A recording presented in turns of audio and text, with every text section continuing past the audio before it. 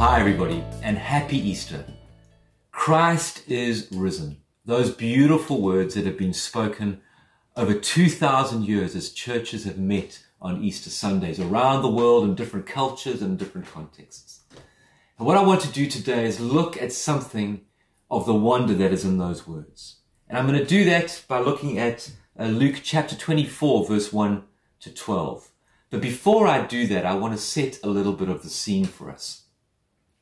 When I think of that first Easter weekend, I'm always drawn to the Saturday, and that might seem a little bit strange to you. After all, there's not much written, if anything, written about that Saturday. And um, it seems to be uh, forgotten in the context of the, the, the, the brut- brutality of Good Friday and the glory of Easter Sunday. But I think that that Saturday had a, a certain horror of its own. After the adrenaline and the violence of that Friday, the disciples on the Saturday, which is supposed to be a day of rest, are alone with their thoughts, having to process what had happened. The great expectations and hopes that they had have been unequivocally crushed under a Roman heel. And those hopes and the expectations have been replaced with fear, anxiety, despair. The one that they had been counting on, this Jesus, who had stirred up so much in them, got them to believe again, uh, given them such hope, had been humiliated and brutally killed on a cross. Now for us, the cross has become very sanitized. We put it on jewelry, it's uh, in an ornamented form in, in, in churches, but it wasn't always like that. It was the worst form of punishment that the Roman Empire could subject a criminal or one of its enemies to. In fact, historians say that there was no death more painful and contemptible than crucifixion. We, the word excruciating comes from the, the process of killing somebody on a cross. In fact, excruciate can literally be translated the overwhelming and intense pain of the cross. But it was not just the awful pain.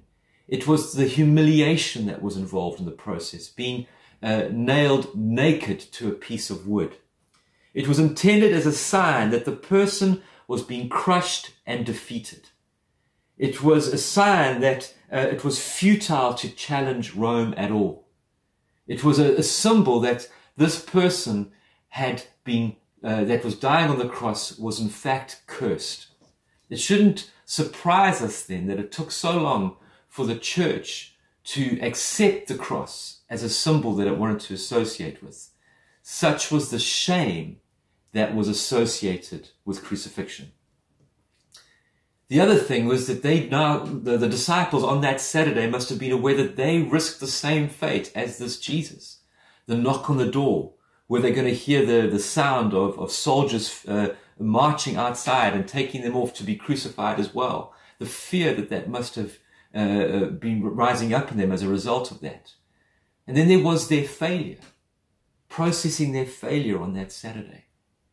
You know, uh, all but one of the disciples that we're aware of uh, deserted Jesus at his crucifixion, deserted him at his time of need and greatest vulnerability, and no more so than Peter. You know, Peter was the, supposed to be the strong one, and he kind of boasted about how good he was and how strong he was going to be and how he would never leave.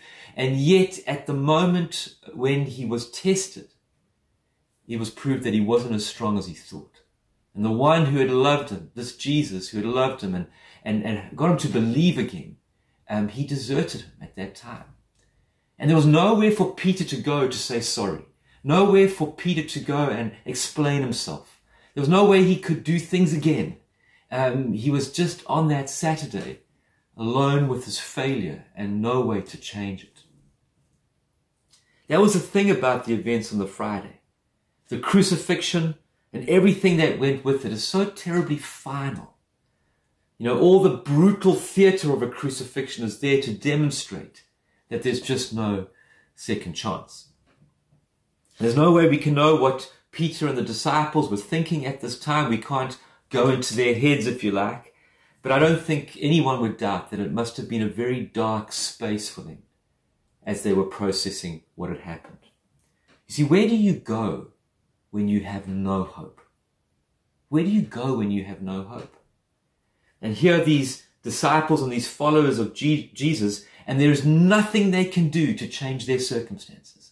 There is, there is nothing they can do to, to change the reality of where they are. Nothing they can do to go and, and, uh, uh, you know, change the events of Friday or change the way they act. They are just left in this place of despair and fear. So turn with me to Luke chapter 24, verses 1 to 12, and I'm going to read from the NET.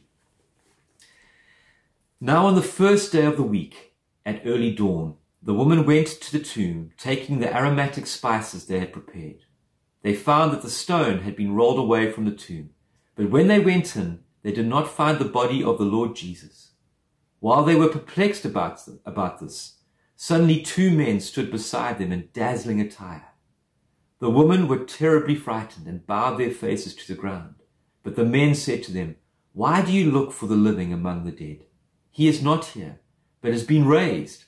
Remember how he told you while he was still in Galilee, that the Son of Man must be delivered into the hands of sinful men and be crucified, and on the third day rise again. Then the woman remembered his words and when they returned from the tomb, they told all these things to the eleven and to all the rest. Now it was Mary Magdalene, Joanna, Mary the mother of Jesus, and the other woman with them who told these things to the apostles. But these words seemed like pure nonsense to them, and they did not believe them. But Peter got up and ran to the tomb. He bent down and saw only the strips of linen cloth. Then he went home, wondering what had happened. And one can only imagine what that conversation must have been like as those women entered the space where the, the disciples were and the followers of Jesus and, and shared what they had seen and, and what they had heard and, and the atmosphere in the room as they were trying to process this. We are told that most of the disciples just dismissed this as nonsense. And, and that's because it sounded like complete nonsense to them.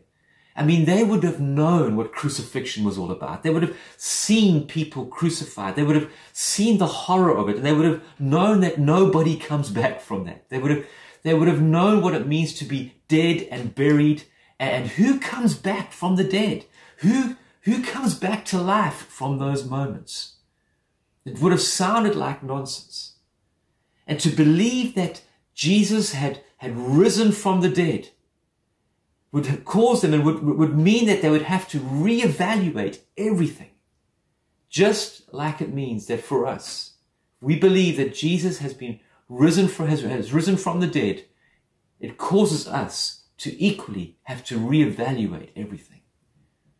Jesus is now no longer just a good man who did some amazing miracles. He's no longer just some kind of non-violent revolutionary. If Jesus rose from the dead, then his words are not just words. And his actions not just actions. And, and his life is not just a life. And his death not just some ancient tragedy. It means that Jesus is now no longer just, not just one among many, but he is unique, unlike any other. It would also cause those disciples to have to reevaluate what they understood about the power and the might of the Roman Empire. The Roman Empire, which just seemed like this, this incredible um, empire of power and dominance and control, which had uh, full of the, the, the, the, the schemings of man, which had brought it together. It seemed, it would have, it seemed undefeatable. But suddenly, when Jesus rises from the dead, if he has risen from the dead, then maybe the Roman Empire is not as powerful as they thought. That there is one who is stronger, greater than the empire's best efforts to humiliate and destroy. And therefore, there is one greater than any of humanity's best efforts to dominate, control, and assume power through force, ideologies, or manipulation. It would cause them to have to even see death in a new light. Death, which seems so final and comes to everybody, to pauper and to king, this relentless hunter of humanity could not overcome this Jesus. There was one who was even stronger than the grave. See, the resurrection of Jesus changes everything. And it forces us to look at Jesus, this world that we live in, ourselves, and the future in a completely different light. It's no small thing, this resurrection.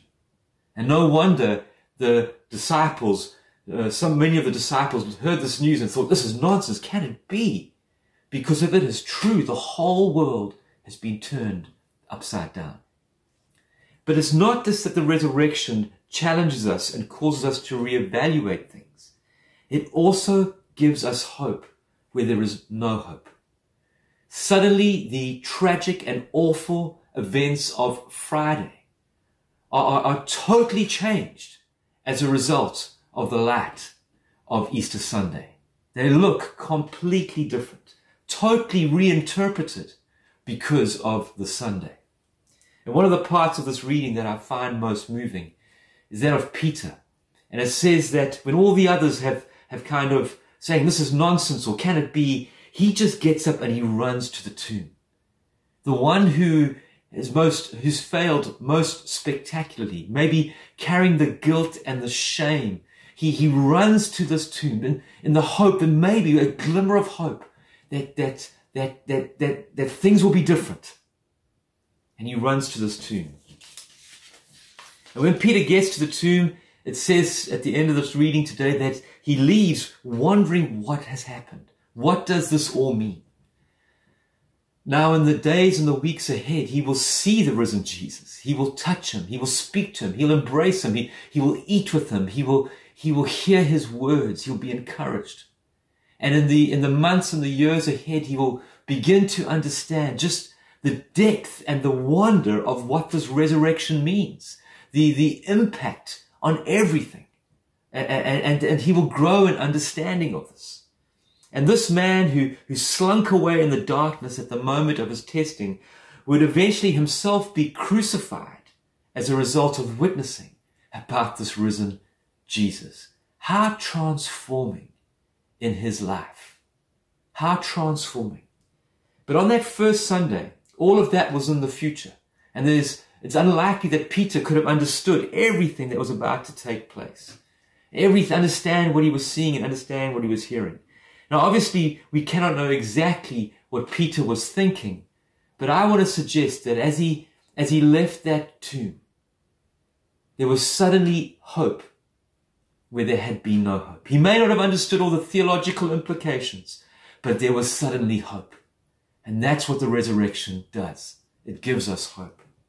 The empty tomb and the message that the woman had brought meant that maybe, incredibly, against all odds, the tragedy, the brokenness, the failure, and the utter defeat of the previous days was not the final word. There was a light that was now shining where there had been absolute darkness. And that is the powerful, indeed incredible message of the resurrection that when we look at this world around us, we can look at this world and we can get despondent. We can see crises and things going wrong. We can, we can see injustice. The resurrection reminds us that that is not the final word.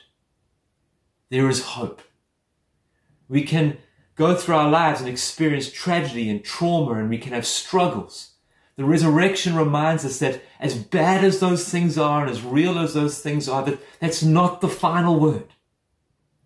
We can struggle and we can wrestle with sin and we can feel shame and guilt about things, but that's not the final word. The resurrection says that there is, there is a light that shines in the darkness, even in our darkest moments. There is a sure hope.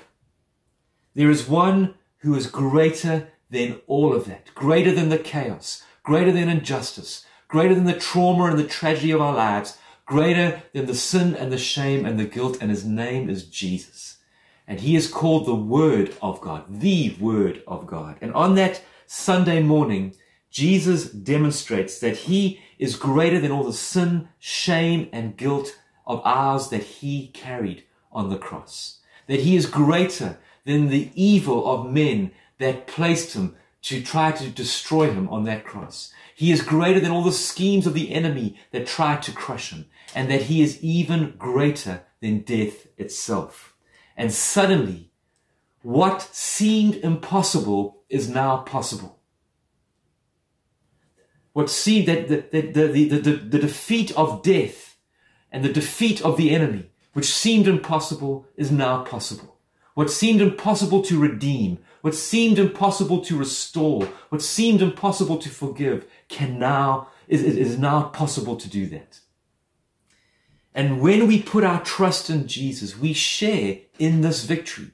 We share in his indestructible life. We share in an indestructible and real hope. And even when the road gets rocky and sometimes the path gets crooked, we still can be certain about the outcome. We have a hope that cannot fade. On that, on that Sunday morning, Peter runs to the tomb. He runs to the tomb to find hope. And he finds hope there, a hope indescribable which changes everything. Where are you searching for hope today?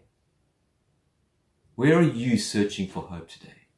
This Easter story tells us that there is a hope that is found in Jesus, which is greater than we can even begin to imagine. That there is a hope in him where there seems to be no hope at all. That in him, suddenly, where things were impossible, things are now possible. Why? Because Christ is risen.